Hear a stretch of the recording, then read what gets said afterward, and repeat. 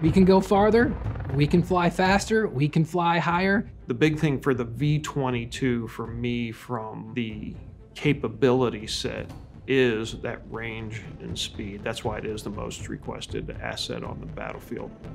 The V-22 is critical to the future of our Defense Department. It is the only tilt rotor aircraft that we have. It provides the speed, range, operational flexibility that the Department of Defense needs.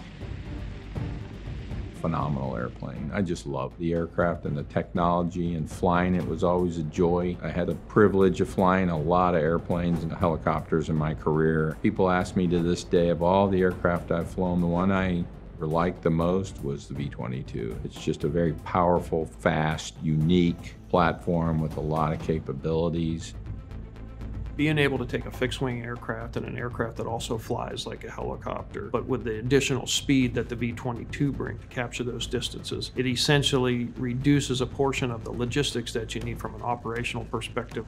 The way the V-22 has evolved, it started out being able to do one mission for the Marine Corps and one mission for the Air Force, and it's just mushroomed into literally hundreds of other missions that they're doing with it. It is a multi-role platform. It's not just a warfighting asset, it's also a humanitarian asset. It is a goodwill aircraft as well, and I say goodwill when you look at the humanitarian assistance disaster relief recently in Haiti. It's more than just a weapon of war, However, but when you need it in that arena, it'll do the mission above and beyond that you can with standard conventional helicopters.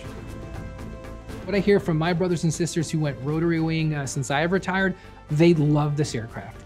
It's easy to fly. It's becoming easier to maintain.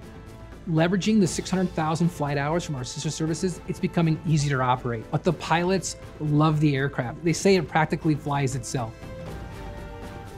Once you fly this aircraft and you see the capability it brings to the fight, you could not possibly want to go back to a traditional helicopter.